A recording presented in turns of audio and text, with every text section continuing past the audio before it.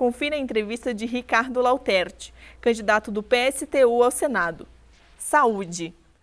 Bom, é, a saúde passa por uma grave crise, é verdade, mas muito em detrimento do não investimento dos últimos governos, de todos os governos praticamente.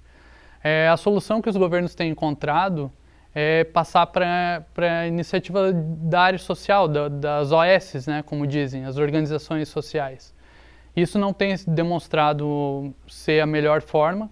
Nós defendemos que a saúde seja pública, gratuita, de qualidade, e existe dinheiro sim para fazer isso. Por exemplo, o dinheiro de isenções fiscais que o governo deixa de arrecadar. Então é preciso cobrar os grandes empresários é, para que a gente possa investir nas áreas sociais aí, é, a exemplo da, da saúde. Segurança. A primeira bandeira, é, para a gente é muito clara, é a desmilitarização da Polícia Militar. Né? É uma entidade, uma instituição antiga, surgida na, na ditadura militar, e a, a, primeira medida seria essa, desmilitarizar e que os trabalhadores da segurança, os policiais, tivessem direito à sindicalização, né? para poder é, fazer as suas, as suas reivindicações e inclusive melhorando a segurança do, do nosso país.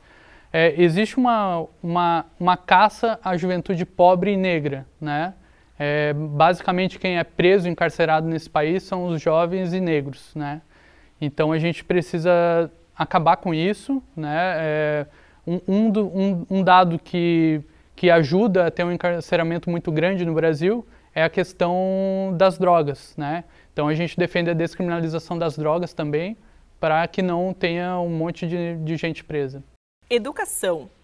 Bom, a primeira, a primeira questão é, é, é fundamental. A gente precisa de investimento na, nas áreas, né? principalmente na educação. Hoje é investido cerca de 3% do PIB para a educação como um todo.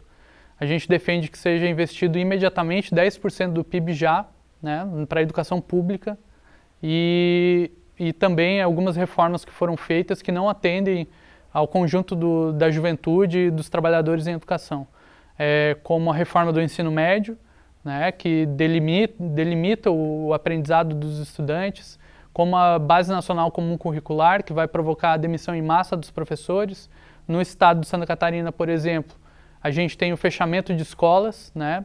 passamos aí nos últimos três governos, pelo menos, com várias escolas sendo fechadas. Então a gente defende, defende muito investimento para a educação, de imediato 10% do PIB. Infraestrutura e Pacto por Santa Catarina. O Pacto por Santa Catarina é um, é uma, um projeto de investimento, em, principalmente em infraestrutura, mas é possível fazer muito mais do que isso. E, inclusive, o Pacto por Santa Catarina não prevê que, que as construções permaneçam públicas. Né? É, muitas delas têm, têm sido passadas para iniciativa privada. A gente defende um Estado grande, né? então algumas empresas que foram é, privatizadas, a gente defende a estatização dessas empresas. E, e no, no, sentido do, do, pacto, ele precisa ser aprofundado. Né? É, faltam hospitais, faltam escolas, faltam creches para a população. Então a gente precisa fazer um grande investimento na, nas áreas sociais aí com a construção dessas, infra, dessas infraestruturas. E o dinheiro.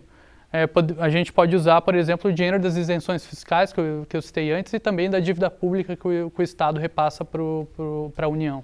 Prioridades. É, a primeira questão, eu acho que parte é, passa pela questão econômica, que é cobrar das grandes empresas é, o dinheiro que devem em, em tributos ao Estado. A segunda questão é que o Estado deixe de pagar a dívida para a União, né? E, e, o governo federal também é, suspenda o pagamento da dívida pública. São mais de 250 bilhões de reais que são usados para amortizações da dívida, de, dos juros da dívida, e a gente precisa de investimento no, nas áreas sociais. Então, com esse dinheiro é possível fazer um grande plano de obras, inclusive acabar com o desemprego que tem, é, que tem atingido várias famílias. Hoje, mais de 26 milhões de pessoas estão, estão sem emprego e isso atinge de forma indireta mais de 60 milhões de pessoas no país. Então a gente precisa de um grande plano de obras públicas, por exemplo, com dinheiro é, da suspensão da dívida para investir nas áreas sociais.